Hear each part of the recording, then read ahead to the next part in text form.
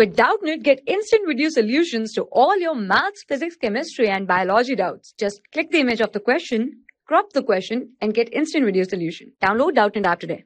So students, we have a question that when a body moves in a circle, the work done by centripetal force is always zero. Okay, this is the assertion. And the reason is that the centripetal force is perpendicular to displacement at every instant. Okay, so students suppose that this is a circular circle okay and the body is moving in the circle okay.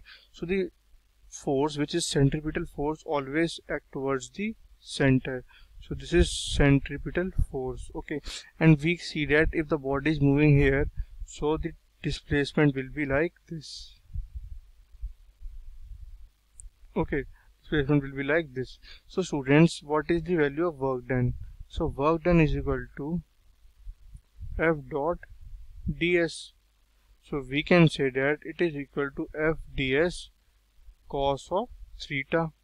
Okay, so cos of theta here theta is this angle which is equal to 90 degree and cos 90 degree is equal to 0 so we can say that work done is equal to 0 okay so we can say that when a body moves in circle the centripetal force is the work done by centripetal force is always zero. So assertion is correct. Okay. Centripetal force is perpendicular to displacement at every instant.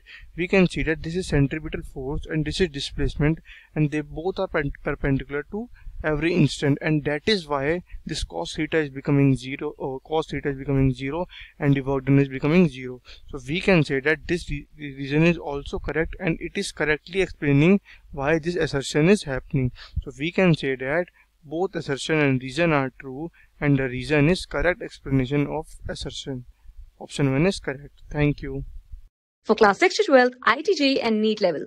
Trusted by more than 5 crore students. Download Doubtnut app today.